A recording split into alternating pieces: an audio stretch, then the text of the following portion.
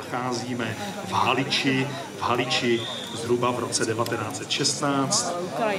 Dokonce ve scénáři je napsáno březen 1916, já že to počasí úplně tomu nenasvědčuje, ale řekněme si, že je březen 1916, je to období před takzvanou Brusilovou ofenzivou, té se ovšem věnovat nebudeme. A to co, to, co tedy vidíte, v tuto chvíli jsou běžné takové frontové, frontové výjevy. To, co můžete vidět úplně uprostřed před sebou, vidíte havarovaný německý letoun a u něho je tedy sestřelený pilot, kterému se podařilo zachránit padákem a on udá k zemi nikoho mezi dvěma postaveními eh, rakousko-uherských a eh, carských ruských vojsk, eh, tak nějak čeká, kdo ho přijde zachránit. To je zhruba to, to rozložení té situace, kterou tu vidíte.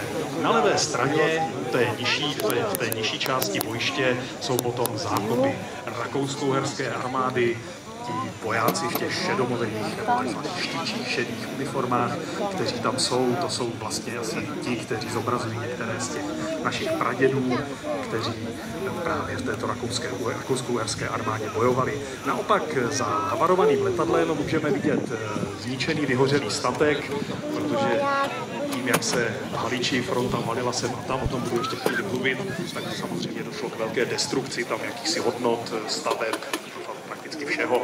Halič velice utrpěla tady těmito boji. A tento statek, pokud dobře vidím, tak v tuto chvíli mají vojáci ruského cara. No a úplně vpravo, úplně vpravo nahoře, v horní části bojiště máme tábor ruský, tam jsou ruští vojáci zakopaní určitě tam bedlivě hlídají, tam připravené nějaké kanóny, ale kanón má i rakousko-uherská armáda dole, takže je to celé takové věrohodné, tak jak mají být. A všechny ty věci, které na tom bojišti vidíme, já vám to komentuju, vysvětlím, připomenu.